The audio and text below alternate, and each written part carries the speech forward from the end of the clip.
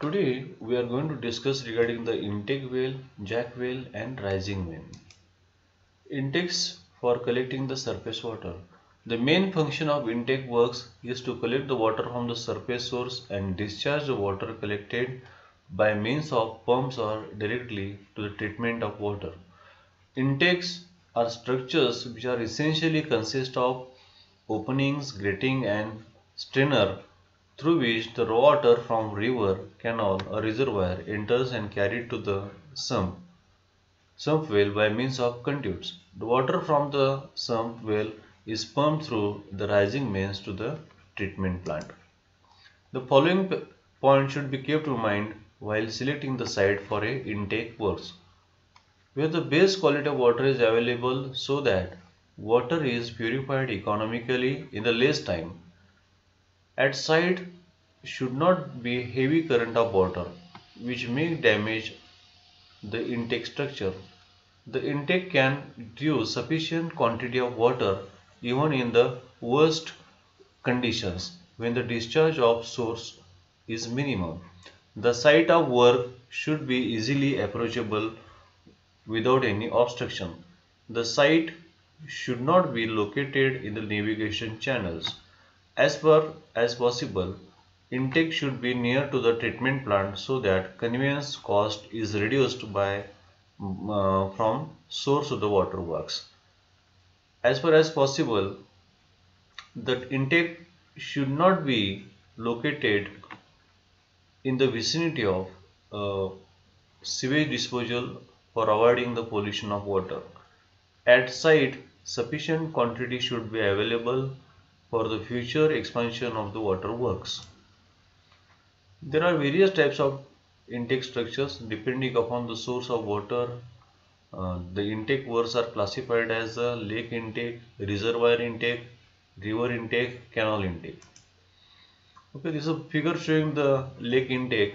For uh, obtaining the water from lakes, mostly submersible intakes are used. These uh, intakes are constructed in the beds of the lake below the water level so as to draw the water in dry season also.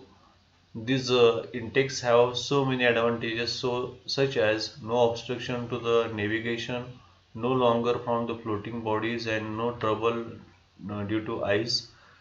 As these intakes uh, draws small uh, quantity of water they are not used uh, in the big water supply schemes or uh, on rivers or on reservoirs the main reason being that they are not easily approachable for a maintenance.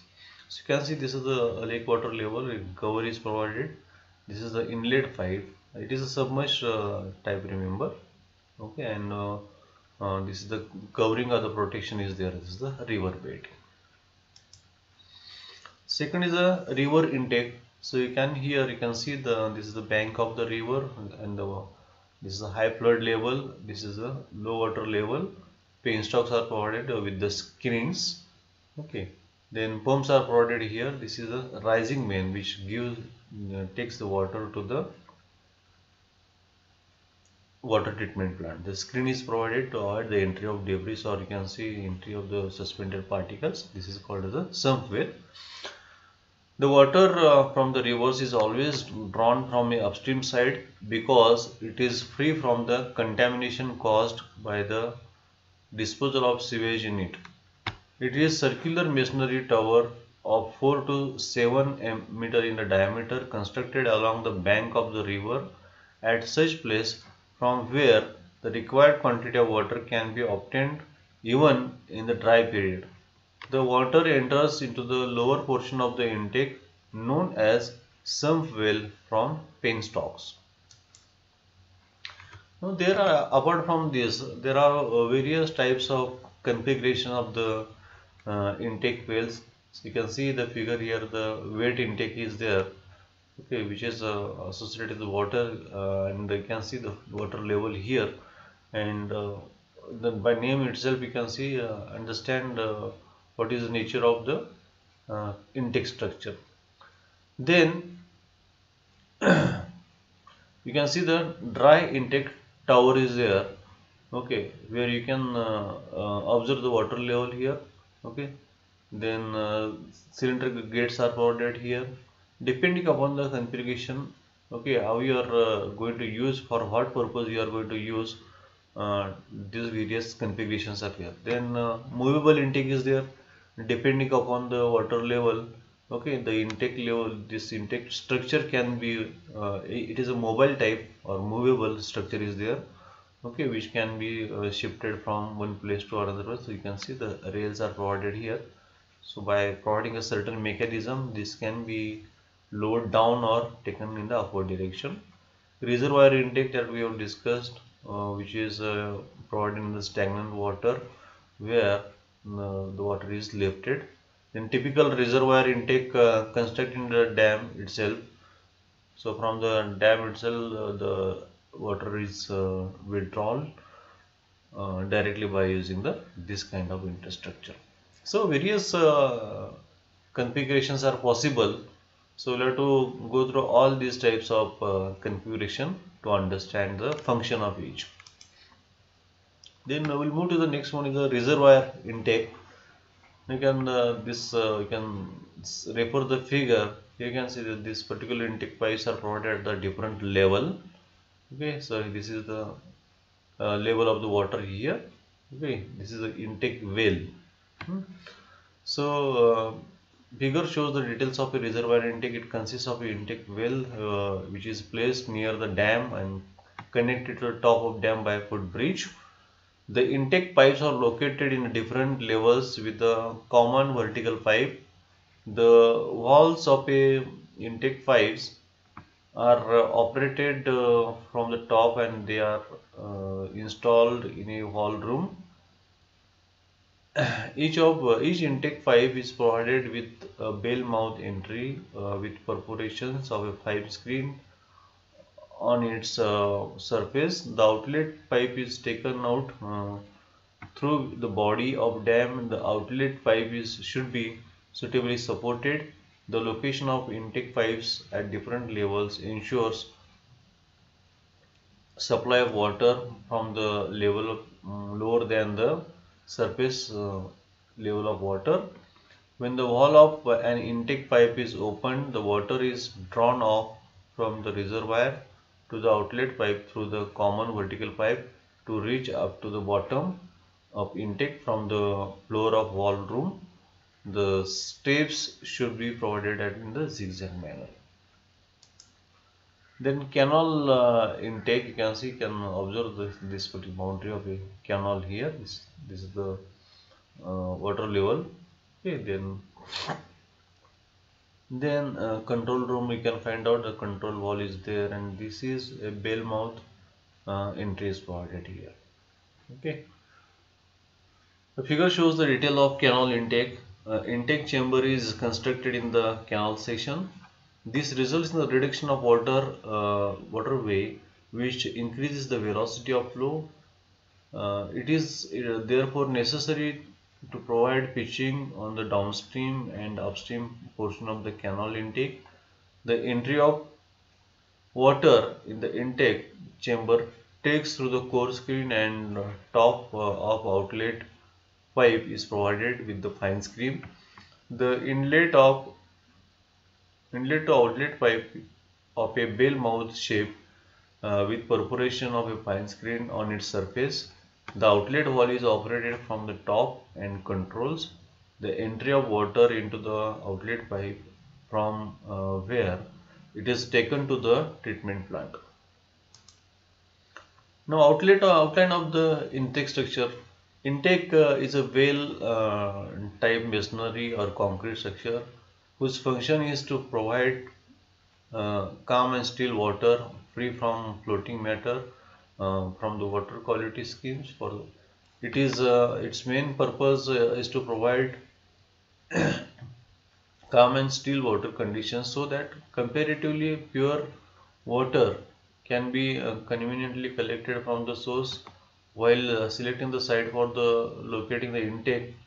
Uh, some points we'll have to remember intake work should be purer water so that treatment may become less exhaustive this we have seen but uh, some more again uh, thinking thinkings are there heavy water uh, current should not be strike the intake uh, directly. This aspect achieved by the suitably shifting the proposed intake. Intake should not be located in such a situation there where the sufficient quantity of water remains available under all circumstances. Site should be uh, well connected to the good type of roads. Site should be such that the intake uh, should be in a position to provide more water if required to do so.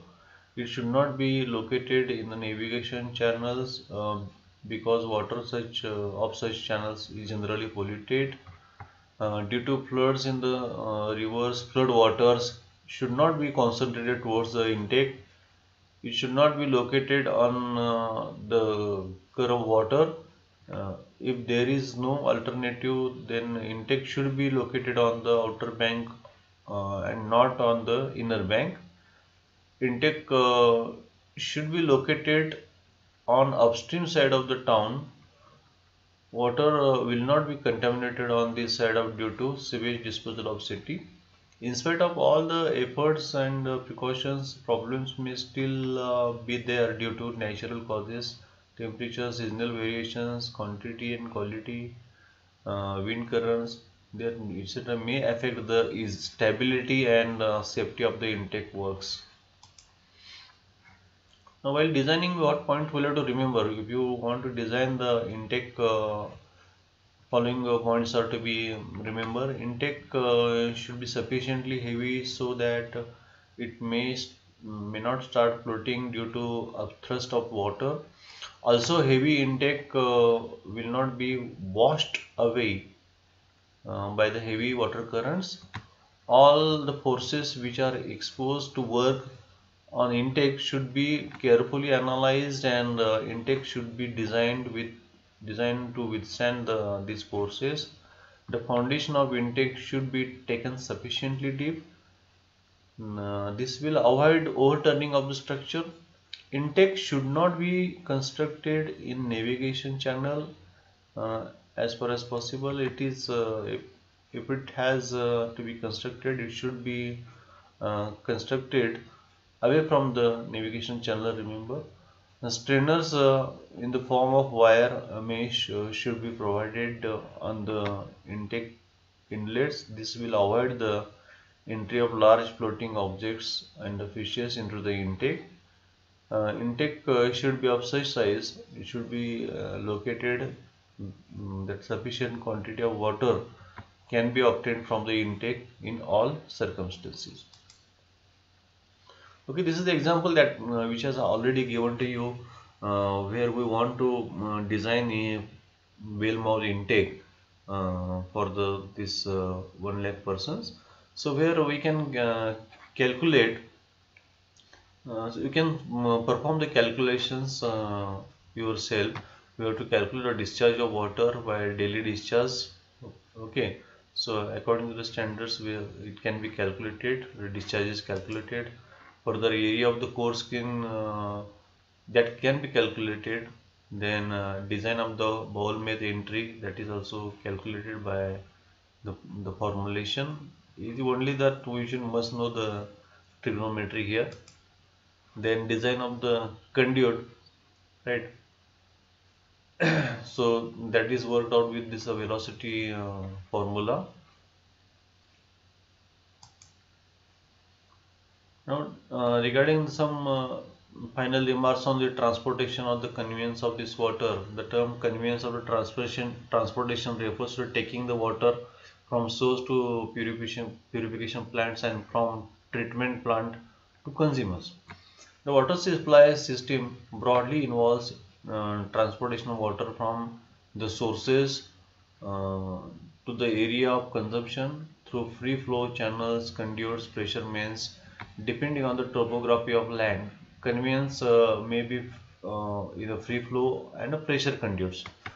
Transmission of water accounts uh, for an appreciable part of the capital outlay and hence careful consideration for the economics is called uh, for the before deciding on the best mode of conveyance care should be uh, taken so that uh, there is no possibility of pollution from the surrounding areas If the source is at a higher level than the treatment plant, the water can flow under gravity automatically.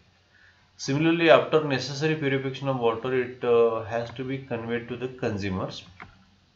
Therefore, for conveyance of water, some sort of devices or structures are required.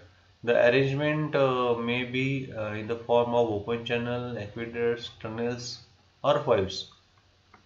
Now rising main, remember this technological term, the delivery line uh, or pipeline carrying the water from pump to storage tank or in the elevated uh, ground okay is called as a rising main. So from the intake to the public uh, or you can say the water treatment plant so the pipeline is there okay so that is called as a rising main. Now pipe uh, regarding the pipe, so the pipe is a circular closed conduit used in the convey the water from one point to another under gravity, under pressure. Usually pipes uh, follow the profile of the ground surface closely. If the pipes do not uh, uh run full, they are called to flowing under gravity. But uh, flow under gravity uh, is possible when if pipe is given a definite longitudinal slope pipes running uh, pool will be uh, said to running under pressure. Pipes are mostly made up of materials like uh, cast iron wrought iron rcc asbestos cement plastic timber etc so uh, this is sufficient information regarding the conveyance of water and transportation of water so uh, in the coming lectures now we are focusing on the various units of the water treatment plant uh, where we are purifying the water. So that's all uh, from today's session. Thank you everyone uh, for joining the session